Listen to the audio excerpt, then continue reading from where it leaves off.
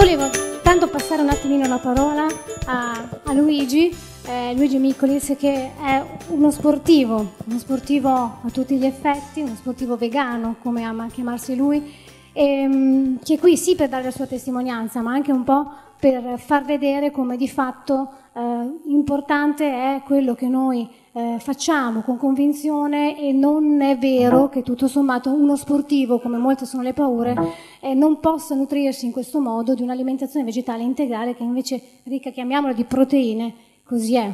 Vai Luigi, raccontaci Le benedette proteine nobili che poi nobili non sono. Mio, lo scopo del mio intervento è appunto quello di sfatare il mito delle proteine animali, mostrando i risultati che ho ottenuto nell'ambito sportivo in questi ultimi anni e che mi hanno permesso di ottenere una notevole energia, recupero e anche benessere a 360 gradi. Cercherò anche di fornire in questo breve intervento alcuni strumenti pratici da, da poter applicare da subito. Io mi occupo ormai di eh, di, di, fitness, sono un personal trainer, un vegan coach, ma soprattutto sono uno sportivo. Sin da sempre ho praticato sport, dalla pallacanestro, i primi trofei, le prime medagliette, poi eh, arti di combattimento, arti marziali, box, pugilato. E diciamo che poi negli ultimi anni mi sono dedicato alla sala pesi. Vedo molti volti noti, molti volti, volti, amici, mi piacerebbe sapere chi mi conosce come Vegan Boy sulla pagina Facebook, eh, può alzare la mano, benissimo, grazie. Allora, innanzitutto io sono molto insomma, onorato di essere qui oggi anche alla presenza di questi illustri personaggi a livello insomma, nazionale molto importante. Sono anche grato a voi di essere venuti qui. Vi racconterò alcuni aspetti salienti me, della mia vita che mi hanno permesso di attingere a queste informazioni. Vi chiedo semplicemente di eh, aprire la mente, svuotare le tazze come dicono i maestri zen e aggiungo io aprire il vostro cuore. Tutte le informazioni sono comunque tuttavia basate su studi scientifici, sulla mia personale esperienza e su quella degli atleti, dei clienti, amici che io seguo nella mia attività di personal trainer. La mia storia, quella che vi racconto oggi, nasce circa cinque anni e mezzo fa. Mi laureavo in economia e commercio, lavoravo nell'ambito commerciale.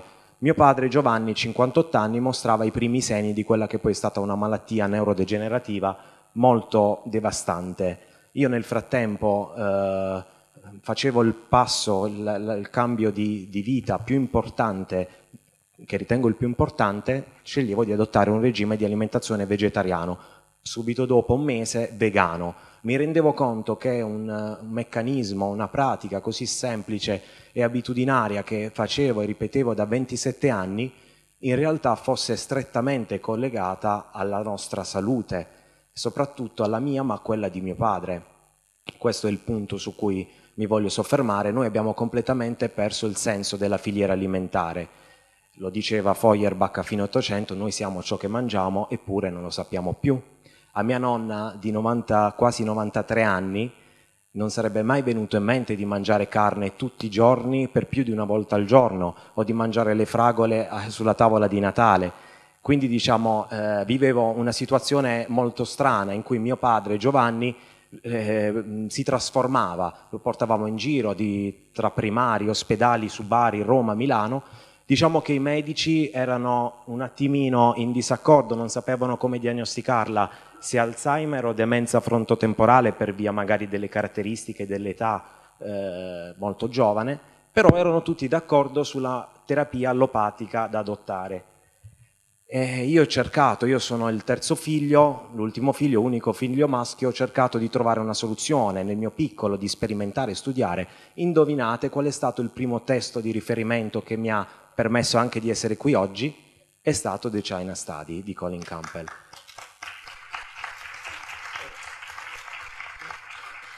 È stato per me, io lo reputo un testo monumentale, un testo che per me è, eh, rappresenta un pilastro di questo mio percorso di conoscenze e di sperimentazioni.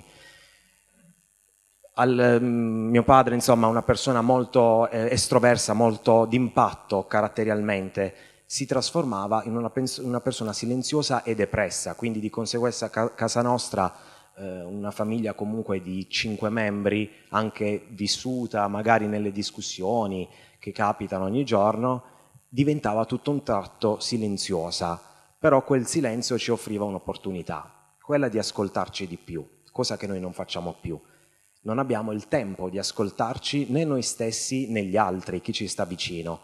Allora, eh, se noi riusciamo, ci rendiamo conto che i tempi lavorativi, il, i, i, ritmi sono completamente ribaltati, sono completamente diversi. Torniamo da, dal lavoro, se facciamo 8 ore, bene che vada, se no sono 10-12 ore. Andiamo a fare la spesa, prendiamo le prime cose che ci capitano sott'occhio, che magari ci ha suggerito mamma televisione. E torniamo a casa, i figli davanti al, alla PlayStation, se c'è un anziano sta guardando eh, Barbara D'Urso sta seguendo porta a porta, senza offesa per chi lo guarda, la, la, moglie magari ha cucinato, ci sediamo a tavola, mangiamo, mangiamo meccanicamente, non sappiamo niente di quel cibo, non sappiamo la provenienza, non sappiamo la stagionalità, prima non funzionava così, prima si mangiava i frutti dell'orto, del, i frutti che ci dava la terra, si sono, sono, eh, si sono ribaltate un pochino le cose, quindi eh, se noi ripartiamo dall'ascolto di noi stessi, siamo sicuramente degli esseri umani migliori perché possiamo comprendere che non ha senso uccidere 50 miliardi di animali l'anno. Non ha senso essere il 20% della popolazione mondiale che ha fama e che sfrutta l'80% delle risorse restanti.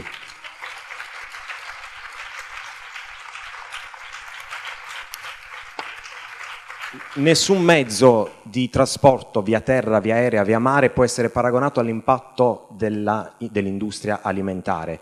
Se noi comprendiamo questo, comprendiamo quanto una nostra singola scelta possa fare la differenza per tante persone e possa permettere alle persone anche di poter mangiare a chi non riesce a farlo. Quindi noi, ripeto, riusciamo a comprendere l'importanza della quotidianità, quando un, un singolo gesto semplice come fare la spesa possa essere un forte atto rivoluzionario.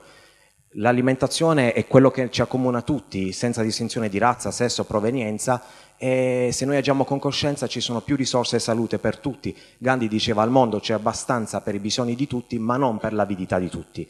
Quindi entrava a far parte della mia vita una nuova consapevolezza, un nuovo modo di vivere, mi rendevo conto che non servono grandi gesti per fare i cambiamenti, lo possiamo fare noi, la rivoluzione la facciamo nel piatto, ricordando sempre che non ci sono esseri di serie A ed esseri di serie B. Quindi dato che abbiamo due orecchie e una bocca, faremmo meglio a parlare di meno e ad ascoltarci di più. Grazie. Bravo Luigi, grazie.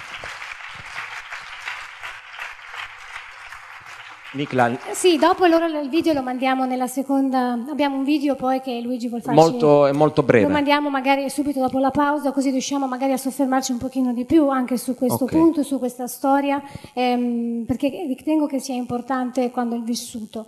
E, e, proprio perché parliamo di vissuto, allora occuperei questa famosa sedia, che sembra che sia chissà chi, però di fatto lo è, quando una testimonianza importante è, merita eh, di essere condivisa nel modo migliore possibile. E quindi chiamerei sul palco con un grande applauso, visto che è un vostro concittadino, Maurizio Falasconi. Grazie Maurizio di essere qui. Grazie Maurizio perché...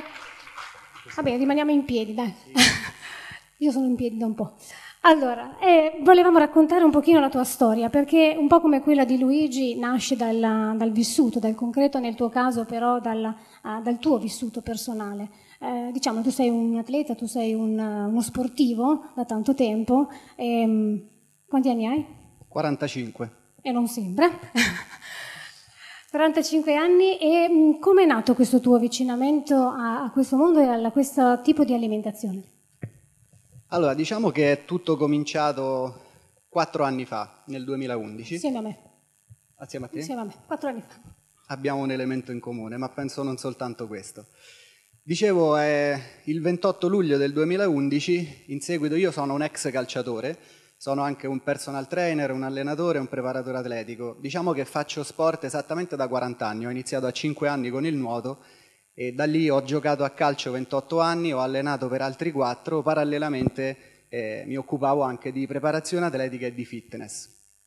Succede che, come un po' quasi tutti i calciatori, siccome il calcio non è uno sport per signorine, così insomma c'è questo luogo comune, ho subito diversi traumi e tra i vari traumi eh, ne ho avuto uno che ha un po' fatto la somma dei precedenti e mi ha causato la rottura del legamento crociato anteriore del ginocchio della gamba destra.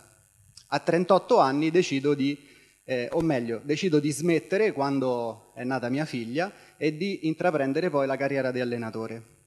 Nel momento in cui inizio ad allenare, arriva un certo punto in cui non riuscivo proprio neanche più a eh, svolgere quelle attività normali che sono anche giocare con una bimba di un anno e due anni, perché il ginocchio me lo impediva. Quindi decido di operarmi.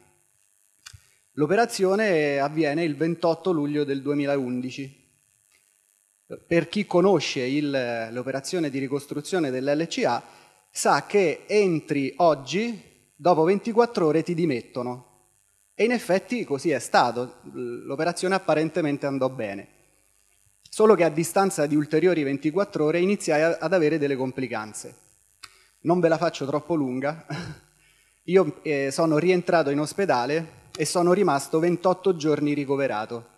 Durante questi 28 giorni ho subito altri tre interventi chirurgici di sala operatoria con tre anestesie, con dosi di morfina che non vi dico perché i dolori erano atroci ho contratto prima una tromboflebite a causa di un errore da parte del medico, nel, del chirurgo, dell'ortopedico, e dopo, a causa di alcuni interventi ambulatoriali che ho dovuto subire, ho contratto un'artrite settica. Quindi inizialmente sono stato messo in uh, isolamento in una stanza da solo, ho iniziato a rischiare l'amputazione dell'arto, e successivamente ho rischiato proprio la vita perché per esempio uno dei parametri, l'emoglobina, mi era arrivata a 5.6, insomma se sapete quali sono i parametri di riferimento capirete la gravità di quel mio stato. E succede che, diciamo così, miracolosamente riesco a riprendermi da tutto questo dai quattro interventi, dal, dalle dosi di morfina, dalle... immaginate che io vivevo 24 ore su 24 con le flebo attaccate al braccio, chiaramente non mangiavo, non eh, espletavo eh, funzioni fisiologiche, ero una pianta, un vegetale che stava su un letto di ospedale. Antibiotici a non finire, eh, non so se sicuramente eh, gli ospiti medici conoscono la gentamicina, ma dosi da cavallo me ne fecero. Considerate che per eh, somministrare la gentamicina ci fu un dibattito tra i medici, tra gli internisti, perché c'era chi era favorevole e chi invece non lo era, a causa delle eh, ripercussioni sullo stato di salute che avrebbe dato quella dose di antibiotico. Quindi dicevo, tutto questo dura 28 giorni. Miracolosamente mi riprendo. Esco dall'ospedale. Ah, e all'interno di questi 28 giorni subisco anche una trasfusione di sangue, ovviamente con l'emoglobina 5,6 ero più di là che di qua. Quando esco dall'ospedale sono un'altra persona. A livello fisico ho perso 12 kg Considerate che io mh, sono sempre stato così, facendo sport e anche diciamo, per eh, componente genetica, non ho mai avuto una componente di massa grassa superiore all'11-12%, quindi quello che ho perso era esclusivamente tono muscolare, massa magra. E il colorito della pelle, insomma, vi giuro, un'altra persona, qui c'è mia madre e c'è la mia compagna, eh, che possono testimoniare il fatto che io veramente... Mh, non fossi più io, no, non ero proprio più io. Anche a livello mentale ed emotivo, per chi come me aveva fatto del proprio eh, fisico, diciamo così, eh, utilizzo un termine, un termine, bellico, ma era la mia arma, nel senso che io con, eh, con il mio sport, oltre ad essere la mia vita, la mia passione, eh, era anche il mio mezzo di sostentamento economico, era io la notte, ancora oggi mi sogno di giocare a calcio, cioè eh, è un qualcosa che hai dentro. Oggi faccio tutt'altro, eh, però per dirvi, cioè, se, se sei un atleta, il tuo fisico è qualcosa in più, lo consideri mm, un, qualcosa che è, sei tu, non è quello che hai, è quello che sei. Quindi non riuscire, non riconoscerlo più eh, dal, proprio come, come aspetto visivo, non mi riconoscevo allo specchio e non riuscivo a spostarmi dal divano alla camera da letto. Facevo fatica perché ancora stavo eh, continuando la cura antibiotica. Una compressa al giorno costava 90 euro. Io 10 compresse non le ho pagate poi, eh, me le fornì l'ospedale, però per dire la potenza di quell'antibiotico, di quello in compressa non ricordo più il nome. Ne feci altre due scatole, quindi passai altri 20 giorni circa in cui fui colto da una depressione totale, mai conosciuta in, nei precedenti 40 anni. Quindi un'altra persona completamente. Che succede però?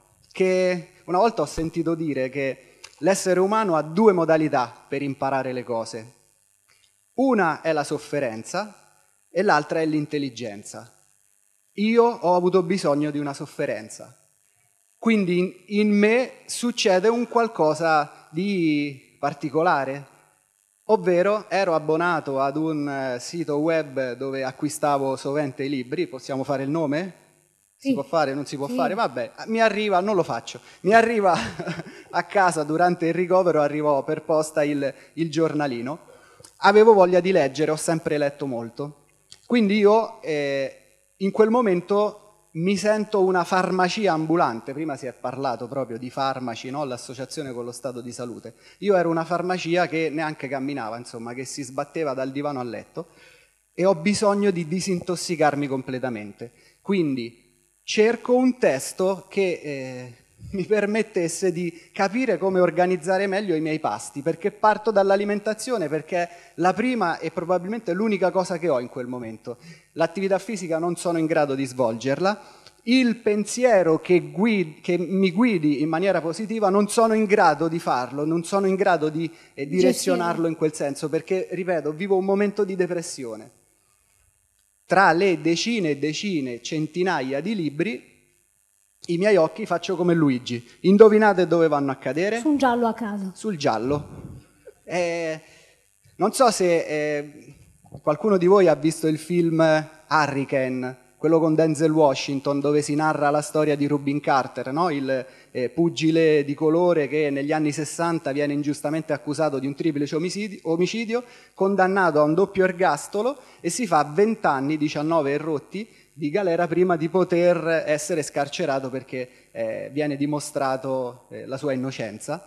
Ebbene, tutto nasce nella storia di Hurricane da eh, un bambino, l'aneddoto di, di, questo adolescente che viene ehm, affidato a dei servizi sociali, quindi con eh, i suoi assistenti educatori va in un mercatino dei libri, usa- eh, dei libri usati e non ha mai letto nessun libro, gli occhi si posano sulla storia, la biografia che nel frattempo Rubin Carter aveva scritto dal carcere e prende quel libro, dice voglio questo. Allora successivamente nel corso del film poi eh, dice ma, ma, come mai? Cioè tu non hai mai letto anziché prendere un libro per ragazzi, ma che cosa è successo? Evidentemente è stato il libro a scegliere me e non io il libro. E questo è quello che è successo nel mio caso. Evidentemente è stato The China Study a scegliere me in quel momento storico della mia vita. Grazie Maurizio, grazie.